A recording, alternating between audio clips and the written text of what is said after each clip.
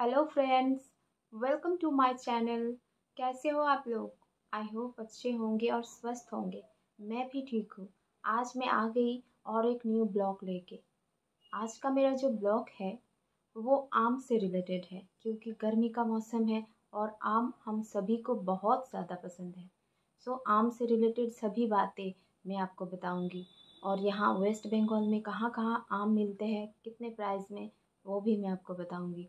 तो चलिए वीडियो को और बड़ा ना करते हुए आगे बढ़ते हैं। हेलो गाइस मैं देवी आ गई हूँ और एक न्यू ब्लॉग लेके। आज का मेरा ब्लॉग बहुत ही टेस्टी होने वाला है क्योंकि आप लोगों को पहले ही बता दिया है मैंने, आज का मेरा जो ब्लॉग का कंटेंट है, वो है आम। और आम सभी को पसंद है है ना? आपको भी पसंद होगा आम। अगर आपको आम पसंद है तो आप कमेंट करके बताइए कि आपको आम पसंद है। अगर नहीं पसंद है तो भी आप कमेंट करके बताइए कि आपको आम नहीं पसंद है। इससे पता चल जाएगा कितने परसेंट लोगों को आम पसंद है और कितने परसेंट लोगों को आम पसंद नहीं है है ना? तो मैं मॉर्निंग वॉक के लिए निकली थी, देखा कि रास्ते के दो साइड में ऐसे देखो, ये लोग दुकान लगाया है। तो मैंने सोचा आप लोगों को थोड़ा दिखाओ देखिए कितने सारे फ्रूट्स लेके बैठे हैं। एप्पल्स है मैंगो है तरबूज भी है, देखो। और ये वाले भैया बहुत सारे आम लेके बैठे थे। मैंने पूछा कि आम के प्राइस कितने हैं? तो बोला, एक का थर्टी रुपीज़ पर के जीस और और एक आम के फोर्टी रुपीज़ पर के जीस तो यही यही का प्राइस ऐसे ही है? और वेस्ट बंगाल में सबसे ज़्यादा आम मिलते हैं मालदा में। मालदा के जो आम बहुत ही मिलते हैं, वहाँ पे वहाँ का आम का जो प्राइस है बहुत ही कम है। अगर आप पाइकारी रेट में लेना चाहते हो, पाइकारी रेट में वहाँ का आम का पर K G two rupees only two rupees तो अगर आप सोच रहे हो कि आप बिज़नेस करना स्टार्ट करो, आम का बिज़नेस तो आप ट्राई कर सकते हो, क्योंकि दो रुपीज़ में पर के जी बहुत ही कम है ना। तो चलिए अभी आम के बारे में बात करते हैं। आम फलों का राजा कहलाता है। देश विदेश में लोकप्रिय फल है, जो सिर्फ़ फल के रूप में नहीं, बल्कि जूस बनाकर, चटनी के रूप में, सब्ज़ी में मिल्क शेक में और भी बहुत सारे चीज़ों में इस्तेमाल किया जाता है। है ना? इसमें बहुत सारे पोषण तत्व होते हैं और इसमें vitamin A vitamin C vitamin D और मिनरल होते हैं।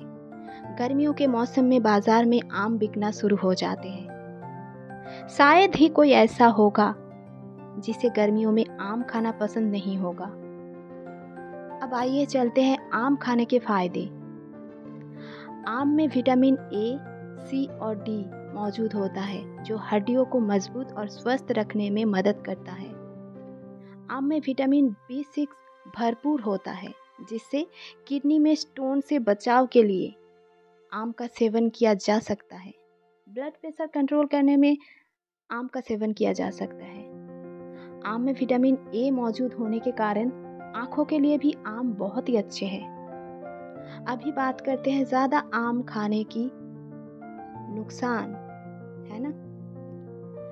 हर चीज़ ज़्यादा खाने से नुकसान ही होते कोई चीज़ फ़ायदा नहीं देता है। ज़्यादा आम खाने से गैस या पेट दर्द का समस्या हो सकता है।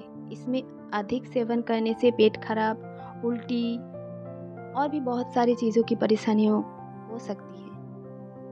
अर्थराइटिस या जोड़ों के दर्द में आम का सेवन कम करना चाहिए।